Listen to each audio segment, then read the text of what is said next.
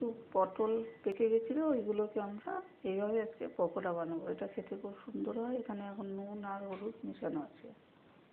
বন্ধুরা, আজকে কারি পাতা, পেঁয়াজ দিয়ে পকোড়া বানানো হচ্ছে। এর মধ্যে কালো জিরা, শুকনো লঙ্কার গুঁড়ো, হলুদ গুঁড়ো, একটু খাওয়ার সোডা, বেসন এই সব মেশানো আছে পকোড়ার গোলা বানানো হয়ে গেছে মানে বেসনটা মাখা হয়ে গেছে।